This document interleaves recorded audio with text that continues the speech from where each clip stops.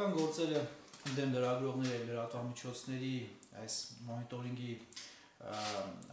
ամփոփումը իրականացվել է որոշակի չափանիշների վրա։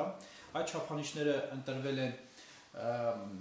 վճաբեկ դատարանի, համանդրական դատարանի, մարդու իրավունքների եվրոպական դատարանի որոշումներում կարևոր փաստական հիմքեր պարունակող ընդգծված չափորոշների հիման վրա, այսինքն այն այն այն հիմքերն են, որոնք իրավակիրար պրակտիկայում դատարանները շատ լուրջ ուշադրություն են դարձնում, ողջելով թե արդյոք տվյալ դատական գործընթացը կամ դատական վեճը արդարացի է կամ իրավաչափ է հանգուցալուծվել թե ոչ այդպիսի չափանիշներ են օրինակ տեղեկատվության արատավորող բնույթը փաստերի եւ գնահատող դատողությունների տարանջատումը պատշաճ պատասխանողի խնդիրը եւ այլ չափանիշներ, որոնք մենք ընտրեցինք եւ դրանց հիման վրա իրականացրեցինք այս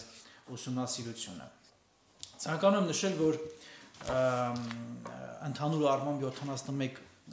հայց է ներկայացվել դատարան մեր ուսումնասիրության ժամանակահատվածում 2022-2023 թվականներին տեսնում ենք, որ 2022 թվականին ներկայացվել է 35 եւ 2023 թվականին ներկայացել է 36 դատական գործ, որից համապատասխանաբար 25-ը վարույթ է ընդունվել 2022 թվականին ներկայացված հայցերի եւ 31-ը համապատասխանաբար 2023 թվականին գործերով վարույթ է ընդունվել Ընդհանուր առմամբ մեր կողմից իրականացված ուսումնասիրությունը ոչ միայն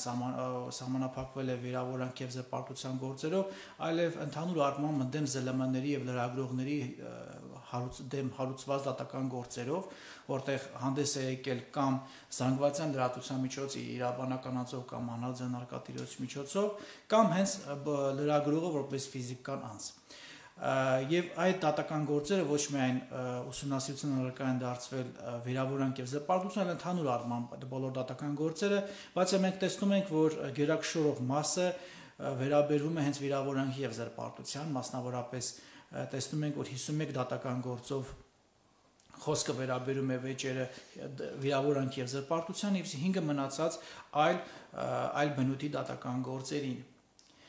Եթե մենք ուսումնասիրում ենք 2010-ից 2023 թվականի ժամանակաշրջան, այս տվյալները հավաքագրվել են կազմակերպության կողմից իրականացված 4 հետազոտական ուսումնասիրական աշխատանքի ընթացքում, մենք տեսնում ենք, որ ընդհանուր առմամբ համատած 2010-ից 21 թվականներին ընկած հատվածում 2022 եւ 23 թվականներին դատական գործերի վեճերի քանակը մեծ չէ, նվազել է, Բայց օրինակ, եթե մենք համատում ենք 2011-ից մինչև 2017 ընկած ժամանակահատվածում, բավական բարձր են եւ այդ այս դատական գործերի քանակության վարիվերումները հիմնականում պայմանավորված են Հայաստանում տեղի ունեցող քաղաքական պատերազմական եւ դրան հետևանքներով առաջացած իրադարձություններով Հայաստանի Հանրապետությունում եւ ուղղակի ազդեցություն ունեն